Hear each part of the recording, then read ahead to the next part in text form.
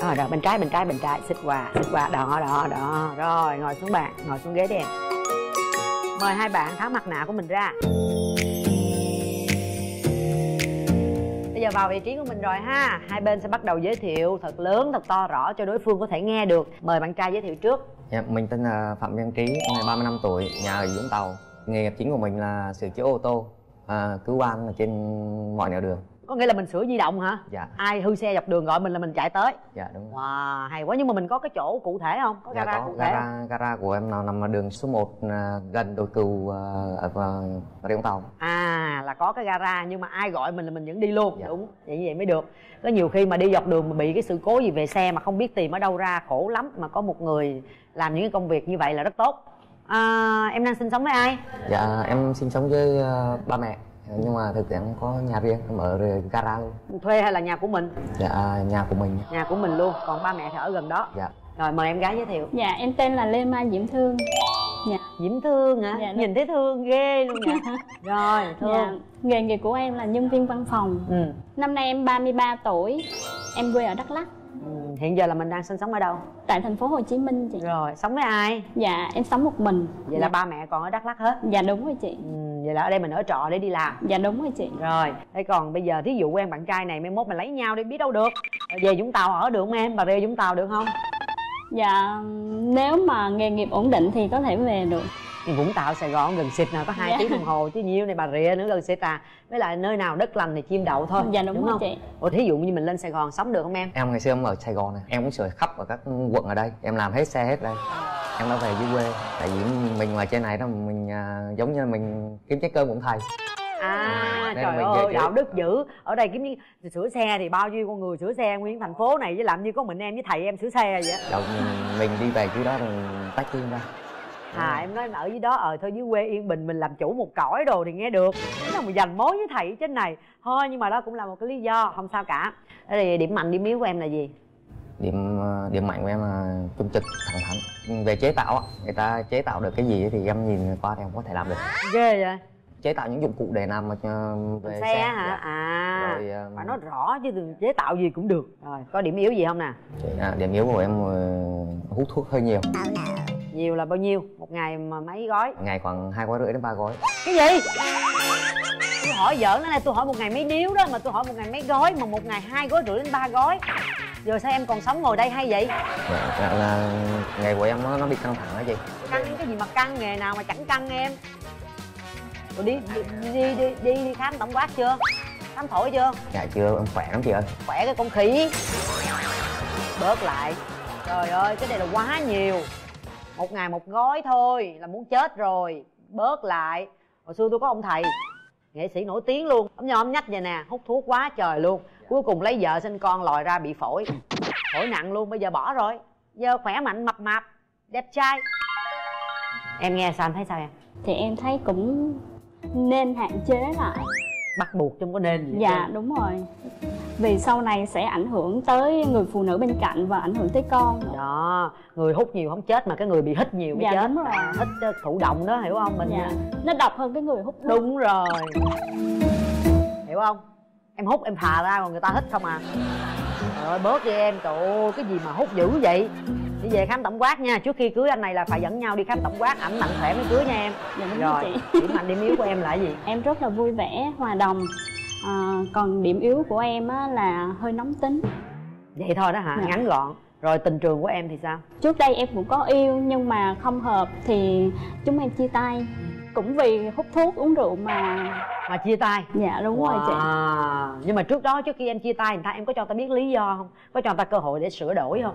Dạ người ta thừa hiểu Với lại nghề nghiệp không ổn định nữa Dạ. Anh này thì mọi thứ chị thấy ok rồi đó. Mặt mày sáng sủa công việc ổn định tuổi tác vừa vặn chín chắn đầy đủ có cái vụ hút thuốc nhiều quá chị cũng sợ.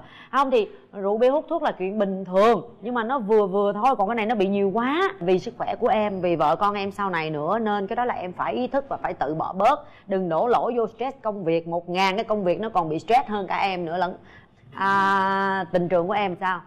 Em có có hai mối tình đi học. Mối tình học là cấp 3 rồi à, em đi bộ đội. Có đi bộ đội nữa hả? Có chị. Về thì à, mình cũng lên em lên Sài Gòn này làm. Ừ, rồi cái cũng à, chia tay. Rồi và cái mối tình sống là cũng không hợp. Tại vì công việc á thời gian của mình là nó không ổn định. Xe người ta kêu giờ nào là mình đi giờ đó. Kể cả lúc đang ăn cơm. Ví dụ như là đêm đang ngủ một hai giờ đêm người ta kêu là mình đi à, nhiều nhiều nhiều chủ gara trên à, Sài Gòn là chạy xe về dưới đó thì cũng đâu quen ai cũng quen mình. Ngày xưa mình có làm trên này rồi về đó mình à, sửa cho người ta. Nó khi là đến à, làm đến ba bốn giờ sáng mới về được cái nhà. Nói chung là công việc cũng ổn định nhưng mà người nào lấy anh này thì cũng phải thông cảm công việc của ảnh thì cũng là hỗ trợ giúp đỡ mọi người. Nhiều khi đang ngủ rồi ảnh đi thì cũng phải thông cảm cho ảnh đi ha. Còn không yên tâm cứ lên xe đi theo ảnh luôn cũng được cho nó vui. Rồi em muốn kiếm một mẫu người bạn trai như thế nào? Thứ nhất về nghề nghiệp thứ hai là về ngoại hình à, chỉnh chu hiền lành tốt bụng. Sống phải đạo đức phải có đạo công giáo. À vậy hả? Dạ. em có đạo gì không? Dạ, em là công giáo chị ơi. À đúng ý rồi ha. Về cái tôn giáo rất là quan trọng thì hợp được cái đó là mình cảm thấy cũng vượt qua được 50% rồi. Bạn thì sao? Mong muốn tìm một mẫu người bạn gái như thế nào? Em muốn tìm một phụ nữ ờ, thiên về gia đình kính trên nhường dưới ừ, biết cách sống. Muốn lấy vợ về mình vẫn là sống riêng ở gara hay là mình sẽ về nhà ba mẹ sống vợ làm dâu cũng có làm dâu thì làm dâu một thời gian thôi chị. Còn nhà cửa mình có mà chị. À. về công việc ờ, ở đó quỳnh cũng tất bật rồi hợp lý. Rồi đâu chưa hình chị chị coi. Trời ơi hình như vậy làm sao người ta kiếm ra được? Tìm đi một chú bộ đội. Nhỏ nhắn xinh xinh có ảnh ở trọng á.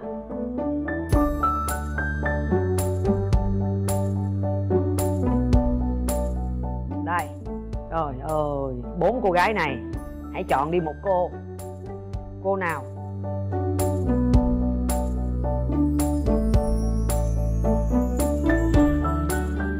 áo trắng. Lý do tại sao chọn cô đó? Em đoán vậy thôi. Đoán vậy thôi phải không? Cô áo trắng có một cô áo trắng. Anh nào? Em nghĩ là đây ạ. Tại sao chọn anh đó? Thì em nghĩ. À em nghĩ vậy hả? Chắc nghĩ thấy người ta nói hút thuốc nhiều chỉ vô anh đó. Ốm có một anh ốm luôn. Xin mời hai bạn hãy nhìn về cửa trái tim. Một hai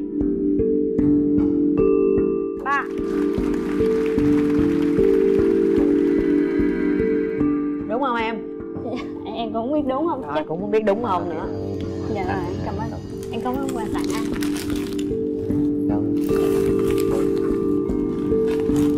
Em thấy em chọn đúng không? Dạ sai chị. Sai. Em sai luôn. Chúng ta cùng sai. Nhưng mà thật ra sai là đúng rồi mấy bạn đưa hình gì đâu mà. Nó mờ mà nó có chút xíu làm sao mà đoán ra được. Nhưng mà ốm có một anh ốm. Trắng có một cô trắng. Nhưng mà không phải hai người trong hình. Thế ấn tượng đầu tiên của các bạn khi cánh cửa trái tim này mở ra là gì? Dễ thương dạ. thế còn em? Em cái ờ, nhìn đầu tiên á, thì em thấy anh rất là hiền và vui vẻ.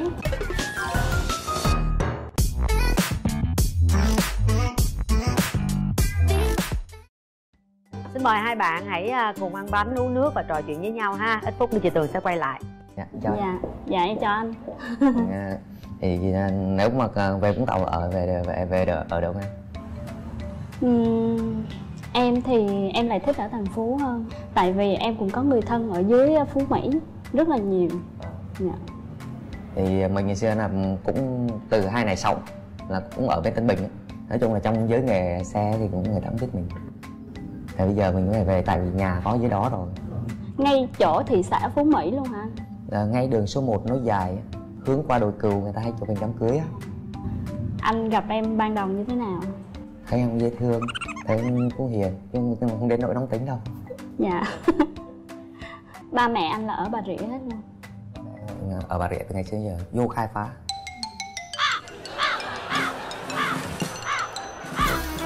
Anh có điều gì muốn nói muốn hỏi em không? nói chung là chưa có nghĩ ra. Ờ, thì mình đến đến đây cũng là một à, cái duyên cái đó. duyên rồi tại vì người ta kêu là tu 100 năm mới là bạn còn tu một ngàn năm mới nên duyên vợ chồng. Thì nếu mà có duyên thì mình sẽ sẽ đến được với nhau.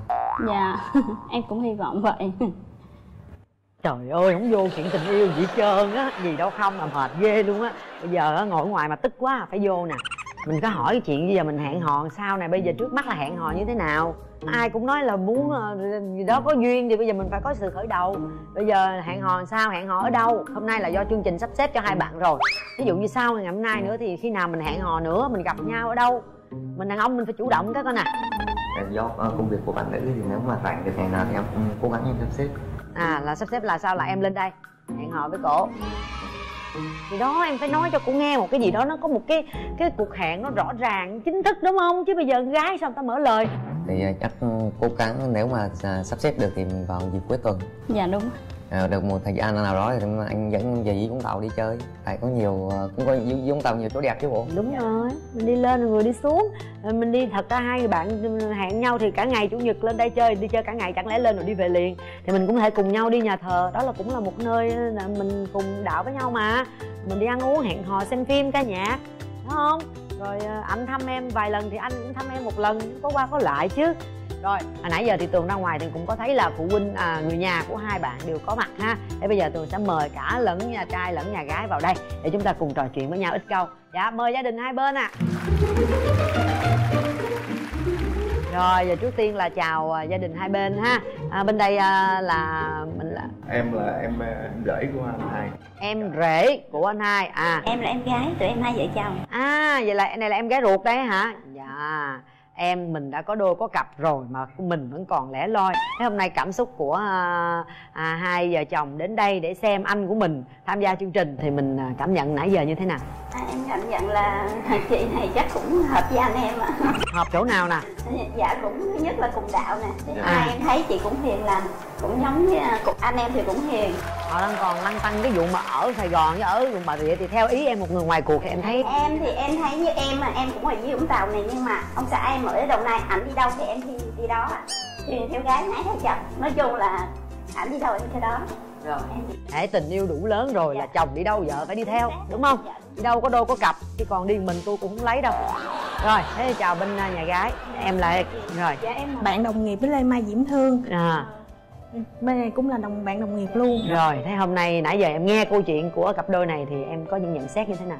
Nghe câu chuyện hai bạn thì em thấy là hai bạn à, nên cho nhau một cơ hội. Trước tiên là cùng à, đạo với nhau thì bạn thương là một người sống theo đức tin. Bên này thì em thấy là cảm nhận là anh cũng chân thành. Thì hai bạn em thấy là cũng hợp khuyên bạn ấy một câu về cái chuyện mà ở ở ở xa đó đi em. Ờ, nếu mà ở xa thì um, mình theo nghĩ là mình cứ bấm nút rồi mình tìm hiểu rồi từ từ mình sắp xếp mình dung hòa lẫn nhau rồi mình bàn tính cái chuyện xa hơn. Còn giờ ví dụ như giờ mình ở thì mình chưa biết được thì mình không nên nói trước. Ừ. Dạ. chứ còn nhưng mà mình cũng không nên khăng khăng ngay từ đầu là nói là Ồ, không được không được không được. Mình cứ cho cơ hội đi biết đâu được là nó có những cái điều nó bất ngờ mà nó nó lý thú với cuộc đời này là cuộc đời này không nói trước được điều gì cả. Ha biết đâu gặp nhau một vài lần nó tự nhiên có cảm xúc có tình cảm với nhau.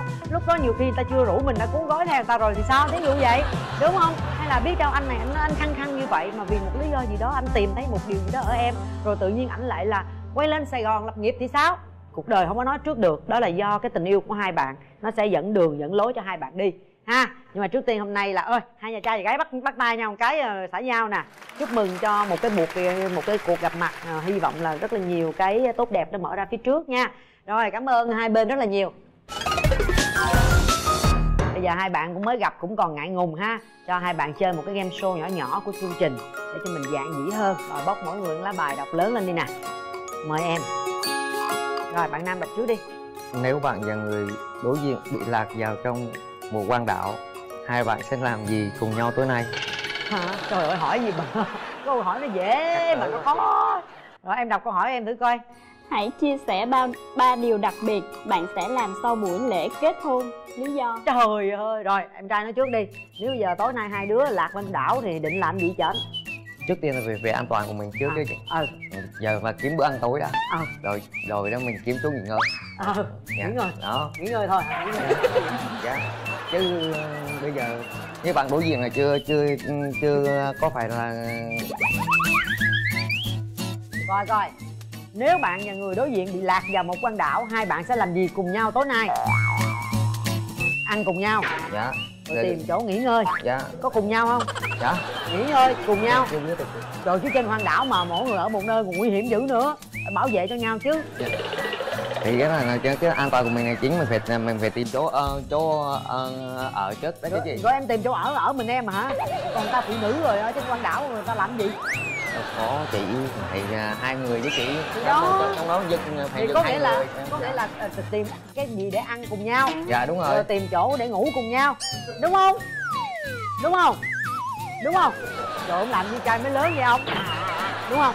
Hay là ăn cùng nhau thôi còn kiếm mỗi người một góc để ngủ nói thiệt bụng đi. Giờ có hai đứa tối nay trên quan đảo giờ ngủ ngủ chung hay là ngủ em cũng chưa suy nghĩ ra được nào về cái gì này chị trước tiên là ngủ trước đi cái đã còn làm gì tính sao đâu kêu thức đâu. Khi nào thức cùng nhau mệt ngủ mà. Đúng không đầu óc này đen tối quá. Không phải tại vì á em là em đi bộ đội rồi bây giờ một mình em lạc vô trong rừng em sống được. Nhưng mà người ta phụ nữ. Rồi đã em sống một mình rồi em bỏ người ta trên quan đảo một mình hả? Thì em đang em phải đang ngồi suy nghĩ cái đó em em phải bảo vệ người ta chứ. Dạ em chưa lạc vào tình huống đó trong này tình huống bây giờ bắt buộc là tình huống mình phải tưởng tượng cớ có quá. có gì? Đúng không? Em phải còn không thì em tìm một cái chỗ cổ ngủ em ngồi em bảo vệ cổ. Trên quan đảo. Dạ được đó chị. Ừ thì mình cứ nghĩ là ngủ cùng nhau chứ. Chứ ờ, đúng không ông không dám nói được cái chữ ngủ cùng nhau luôn kìa trời. Cái bộ đội trong trắng trinh nguyên quá. Rồi thế em. Sau lễ kết sau hôn- lễ kết hôn luôn. Dạ. Là vừa làm lễ kết hôn xong cái bụp nè. Dạ. Rồi. thứ nhất Làm em sẽ gì? làm là em sẽ nấu một bữa ăn để đãi gia đình hai bên. Trời ơi em thứ hai em đang quá vậy. Thứ hai sẽ à, tính tới chuyện nghỉ dưỡng. Nghỉ dưỡng? Dạ. Đâu tính tính thử nghe coi nghỉ dưỡng làm sao. Là đi du lịch một nơi nào đó. Em thích đi du lịch nơi nào? Tất cả luôn chỗ nào đây gặp mật thì có một tuần thôi ở đâu một chỗ thôi. Nếu mà em thích thì em vẫn thích đi nước ngoài hơn. Rồi nước Dạ. ngoài là nước nào? Ví dụ như Singapore chẳng hạn. Ờ đó mình có ước mơ cụ thể. Dạ. rồi gì thứ ba. cái thứ ba thiết là thực chút coi nè thực tế chút coi nè.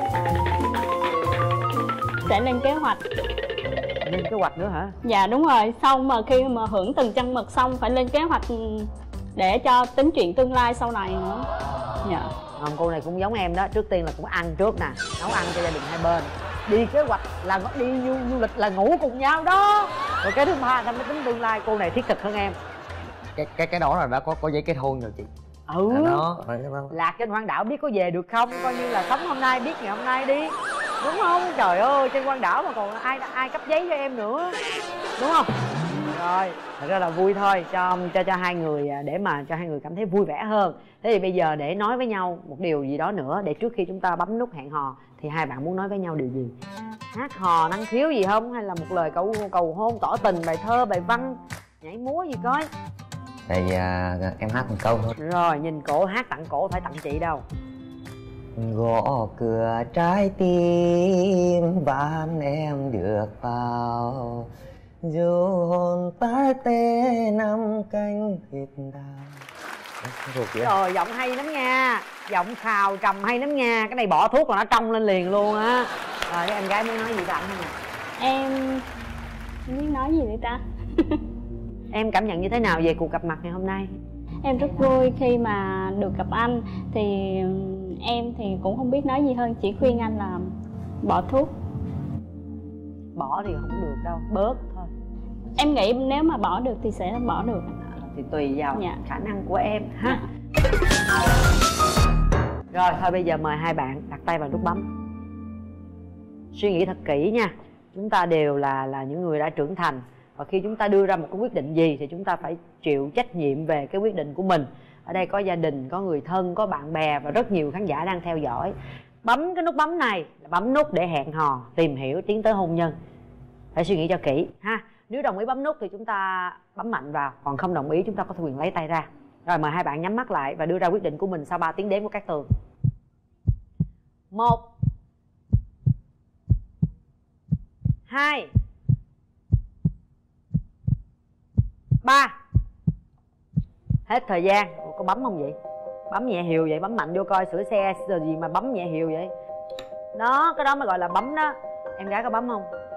Rồi bây giờ lý do tại sao em gái không bấm nút lý do thì em rất là thực tế. Em cũng muốn người ừ, ở gần em tại thành phố Hồ Chí Minh để em có đi làm. Tại vì em đã xác định ngay từ đầu là em chỉ làm việc tại thành phố Hồ Chí Minh thôi. Em không có à, đi về tỉnh để làm việc thật ra chị ngay từ đầu chị cũng đã cảm nhận được cái vấn đề của em rồi.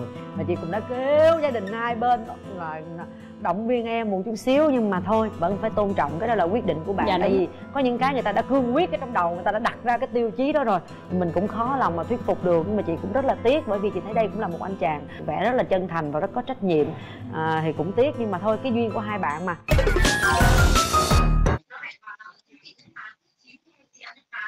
Ừ, đáng sách cũ đúng không? Ờ, thế toán thì toán có bài mà lớp bảy thì phải chưa học cơ mà. Ờ, ờ, em xin bạn. Rồi em chào chị. Ở đây thì là ekip của chương trình bạn muốn hẹn hò ha. Ở đây thì có em ờ, là biên tập Uyên Uyên ờ, gồm một số biên tập khác nữa. Thì ờ, trước đặt trước tiên thì chị giới thiệu về bản thân của mình giúp em ha.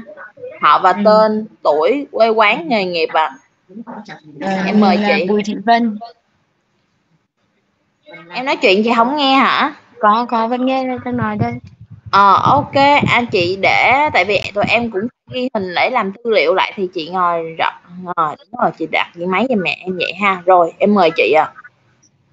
Đây là Bùi Thị Vân 43 tuổi.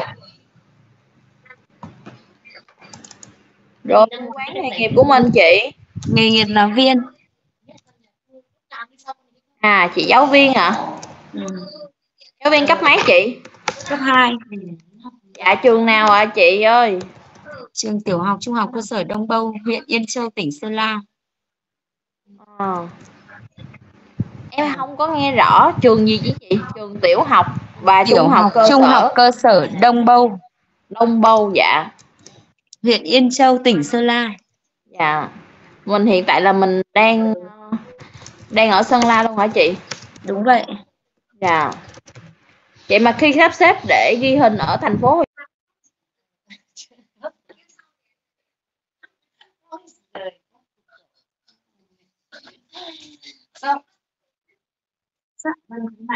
sao không nghe được gì?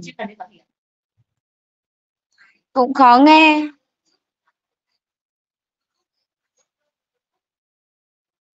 cần phải tóc hả? alo Có thể Ừ. gửi. Thế thì cái gì? Gì? Đang- nghe giọng khó khó nghe đấy À, đây hả? có nhưng mà biên tập không nghe thấy Dạ rồi chị nghe chưa ạ? rồi ạ Dạ rồi.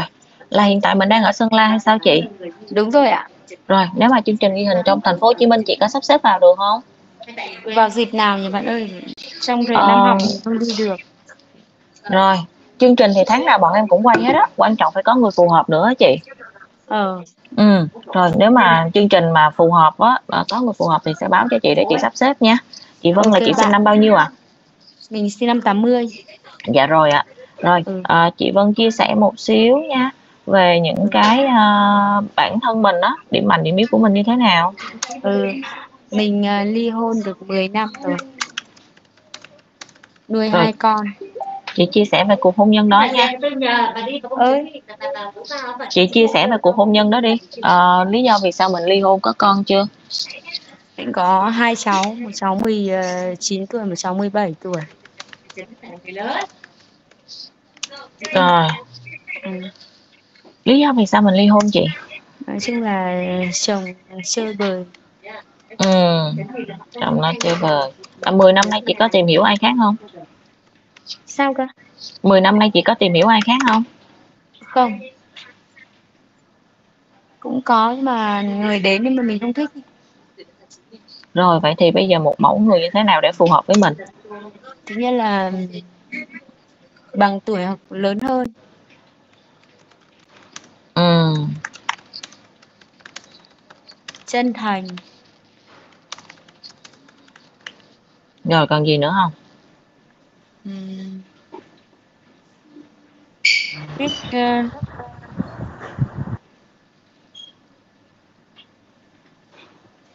quan tâm chia sẻ Rồi, chị cho em những cái tiêu chí ví dụ như là về tuổi tác, về vùng miền thì anh này ở đâu thì được. Ừm, công việc thì phải cũng phải công việc ổn định Rồi tuổi tác vùng miền ở đâu thì được chị? tuổi tác thì có thể bằng hoặc hơn tuổi Ừ, cùng hoàn cảnh với mình ha. đúng vậy cùng À. hoàn cảnh Rồi người này thì đang ở Bắc hay trong Nam được không? Chị có quen xa được không? Bắc thì càng tốt. Ừ, cùng quê miền Bắc càng tốt. ừ. Rồi, chị còn yêu cầu gì đặc biệt ở người này nữa không? sao bạn? Chị còn yêu cầu đặc biệt về người này nữa không? Là nói chung là kinh tế cũng phải vững vàng một chút.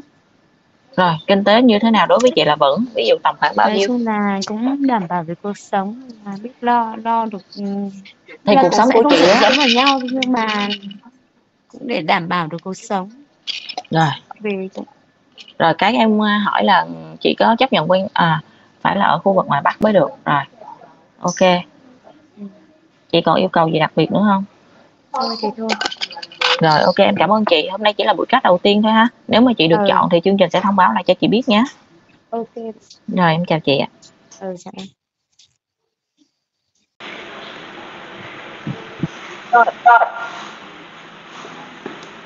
um, budget À, bên đó tín hiệu nó hơi bị giật đường truyền đó chị chị ơi mình ngồi mình bị đang bị cắt đầu á dạ. mình để điện thoại lại cho thấy mặt chị ha rồi ok bây giờ mình giới thiệu về bản thân mình họ đơn của quen mấy thầy chị ha chị ha dạ em chào à, các anh chị trong ban biên tập. Em à, là phạm thị Huyền em à, chị ơi nó chị lớn nó lớn lên em không nghe bên chị Bên rè chị đó.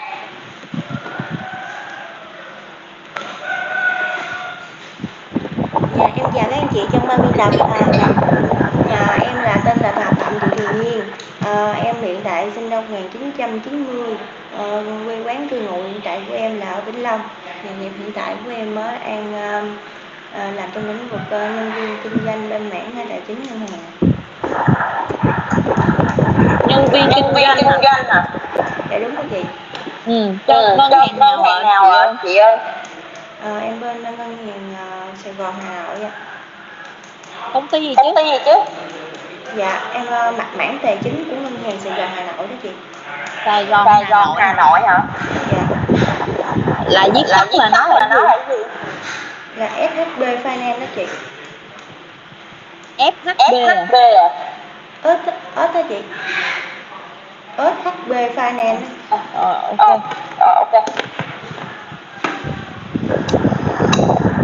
rồi mình nói về một xíu về điểm mạnh xíu về điểm mạnh điểm điểm yếu nhiên dạ điểm mạnh của em là khả năng ờ, tương tác giao tiếp và nắm bắt tâm lý đó là trong ờ, cái ờ, công việc của em thôi Ờ, còn ờ, trong ờ, cuộc sống thì ờ, em cảm thấy em là một người ờ, ờ, chân thành trung thực. Ờ, điểm yếu là em ờ, ừm, em cả tin. Ừ. Chị được không? không? Dạ. Ít người quá. người quá. Được không? Được không? Dạ tin người quá tại vì mình tưởng ai cũng như mình đó chị giờ giờ nhiên Nhiên, ờ, làm ngân hàng làm ngân hàng ở Hà Nội Hà Nội Vĩnh Long em ờ, làm ờ, ở tại chỗ địa phương của em luôn ở Vĩnh Long đó chị. Nhưng Ờ. mà cái công việc của em là đi thị trường.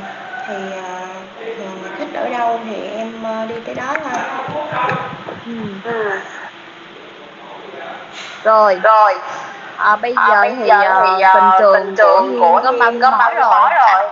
gia đình chưa Ờ, em ờ, em hiện đang là mẹ đơn thân của hai bé chị mình có hai mình có hai hai trai hai gái hai bé gái một bé sinh năm 2016 và một bé sinh ờ, năm 2014 ừ. ừ. ly hôn cách đây khoảng 2 năm rồi hai vợ chồng mình ở với nhau bao lâu mà mình dẫn tới ly hôn alo tình trường thì ờ, có hai luôn á là khoảng bên bệnh tín hiệu chập chờn quá ta. Mình ly hôn bao lâu rồi nhiên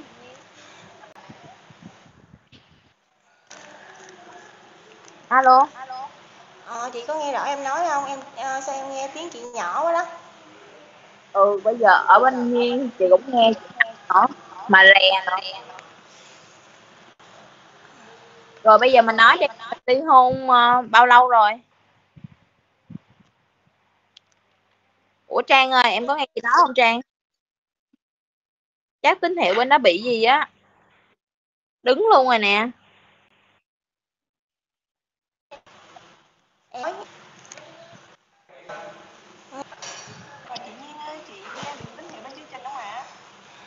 Dạ em nghe rất là nhỏ luôn á chị chị nó yếu quá. Bên thấy đứng hết rồi nè. Dạ không biết là mình đổi qua chế độ 3G được không ạ?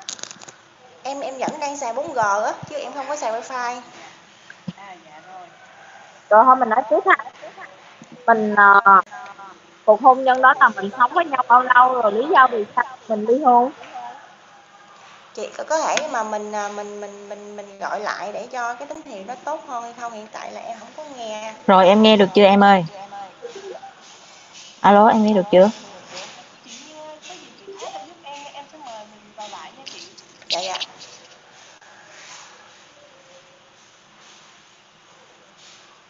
alo Dạ chị nghe chị nghe được chưa ạ? dạ em nghe rõ rồi chị Dạ vâng. rồi mình nói về cuộc ly hôn của mình ly hôn của mình dạ. Là sống với nhau bao lâu? bao lâu? lý do vì sao mình ly hôn Mình um, ờ, kết hôn khoảng uh, 6 năm á chị. 6 năm thì em ly hôn chị. Ly hôn là do là cái uh, ly hôn thật sự là cái cái ý của em tại vì uh, có nhiều chuyện trong hôn nhân đó chị uh, nó ảnh hưởng tới quyền lợi của một người mẹ.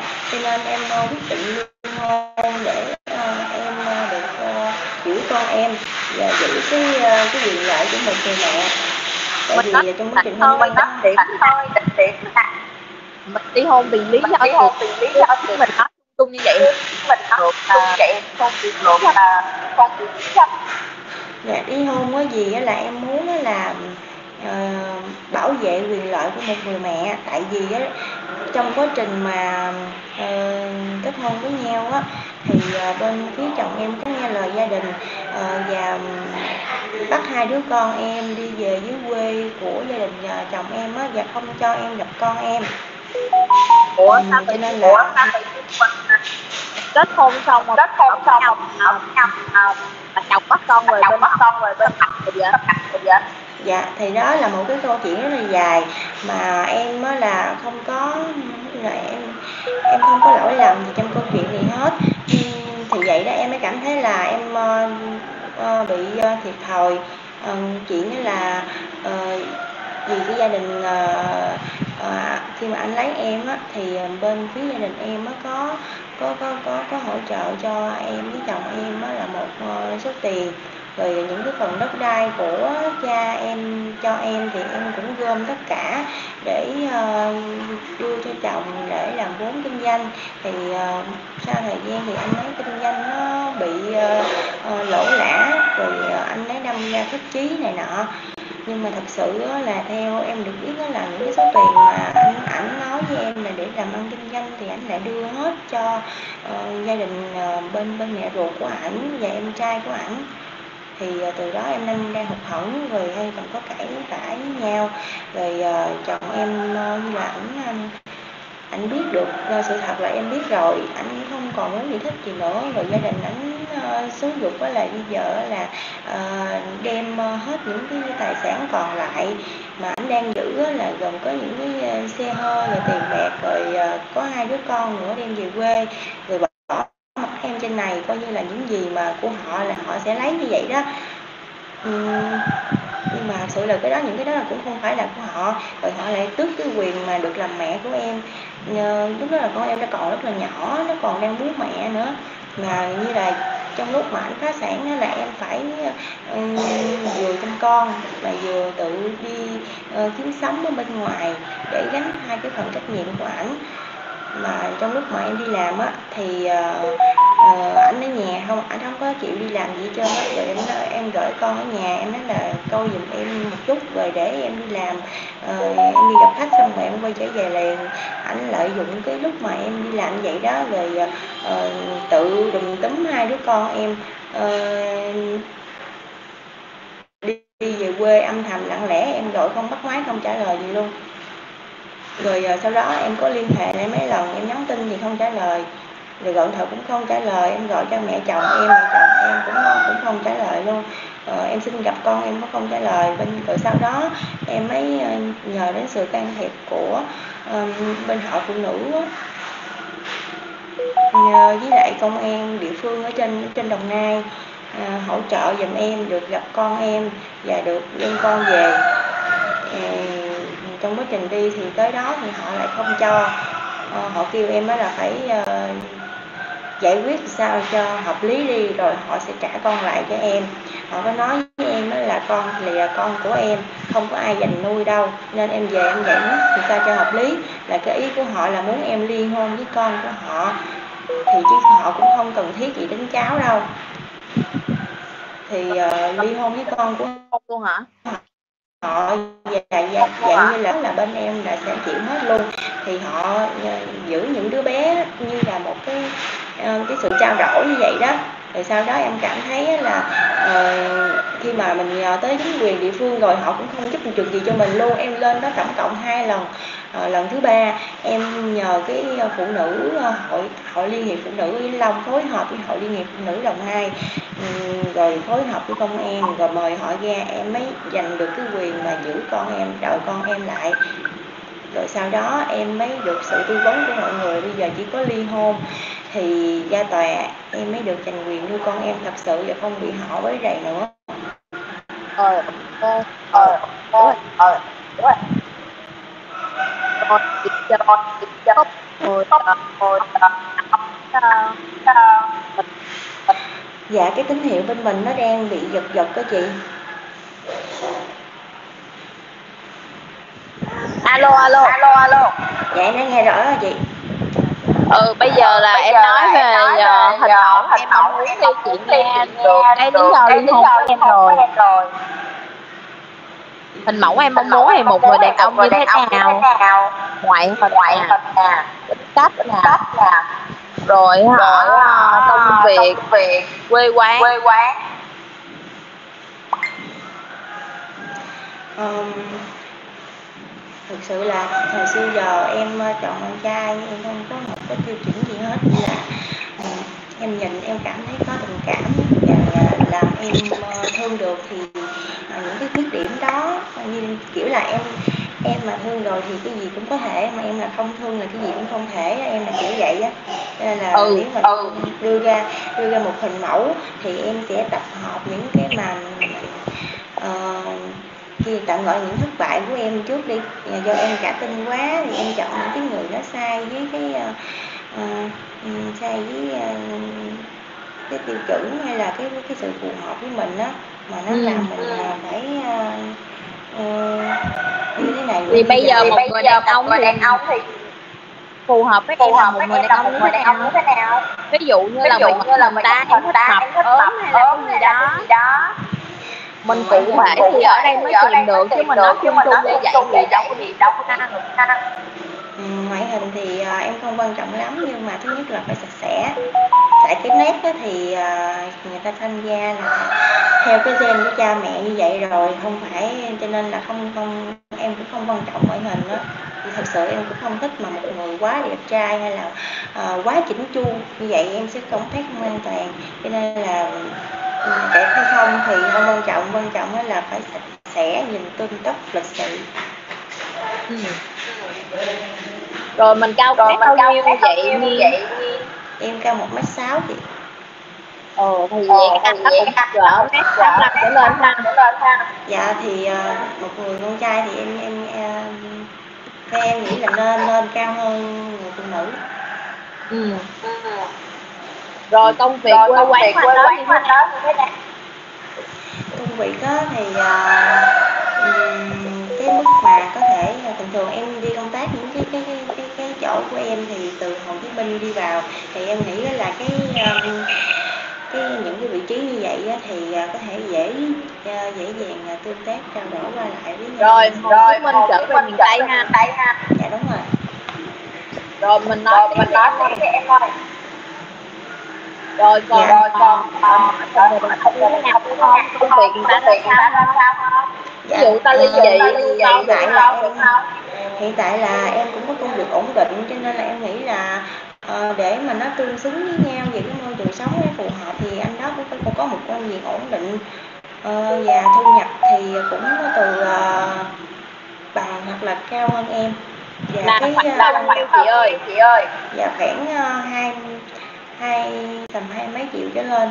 Tại vì em là em làm ờ, làm ờ, làm công ăn lương đi Ờ, nhưng mà em em em em mong muốn là ờ, cái người ờ, chị là bao chị là bao nhiêu? Một tháng chị thu nhập bao nhiêu? Thu nhập bao nhiêu? Dạ tầm 25 ừ. Ừ. Ok ok. Rồi em nhưng mà em mong muốn là một cái người mà ờ, em có thể ờ, tìm hiểu để ờ, tiến tới ờ, một cái tình cảm gì đó thì ờ, nên nên là một người về kinh doanh. Tại vì ờ, cái cái ừm, em ờ, em thích em thích kinh doanh. Nhưng mà tại vì rồi ờ, ok rồi ok làm kinh doanh. làm kinh doanh. Rồi. Ngoài kinh doanh ra thì chị còn thích chị còn thích công việc gì nữa không gì nữa không? Ờ, tốt nhất là đừng có nên là cái người làm cùng ngành với em. Tại vì cùng ngành nó khó hiểu nhau chị. Người ta đang người ta đang cùng ngành cùng ngành. đó là sao mà khó hiểu khó hiểu sao ta không? Cùng ờ, cái cái cái ngành của em á là nó thuộc về mảng tài chính đó chị.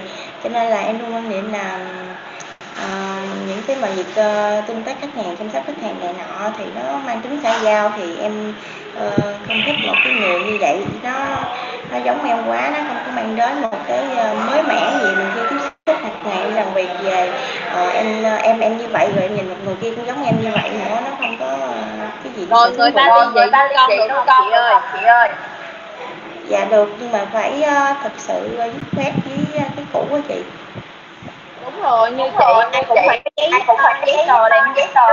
trước giấy tờ. Là cái chuyện nó cơ bản rồi nhưng mà nhiều khi đó là còn có thể ờ, họ họ còn trao đổi qua lại làm bạn với nhau như vậy nữa thì không phải là ích kỷ nhưng mà cái đó là cái cái cái sự mà em cảm thấy là nó bất an á chị người ta không làm bạn không làm người ta trao đổi để trao đổi việc nuôi con người ta dễ hơn dễ hơn được không? dạ cái đó là đương nhiên rồi chị. Rồi ok rồi ok vậy hai chị ha.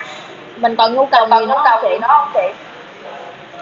Ờ, và ờ, cái người đó là phải ờ, ừm, độc lập với gia đình như là những cái quyết định gì của họ là phải độc lập Ờ, nó không có ờ, lệ thuộc gia đình là gia đình có đồng ý hay không hay là có ờ, chấp nhận hay không thì anh ấy mới quyết định được đó chị ừ, rồi ok. Rồi, ok. Ở đây thì tụi ở đây thì tụi nhập hết những thông tin của của à.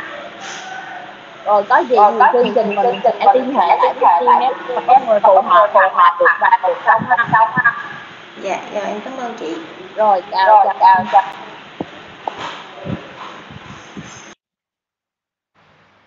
nó ồn nó ớn gì chứ